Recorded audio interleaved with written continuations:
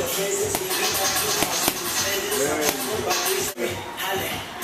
want your shot, relax a little bit. You want that punch to come from here. Or as soon as I see it go from here, I got a split second. So boxing like split second. Before you even get it off. So one boom, yeah. Yeah, drop it a little bit. And drop. Yeah, you not turning. You pivoting. There you go. When I throw my hook, my hook is. You know what I mean?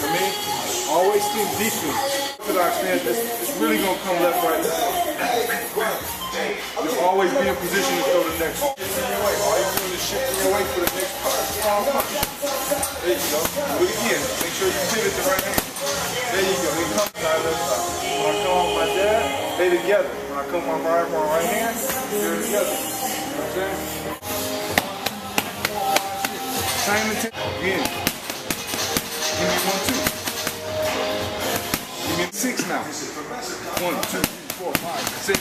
Come on. Give me six. I know you tired.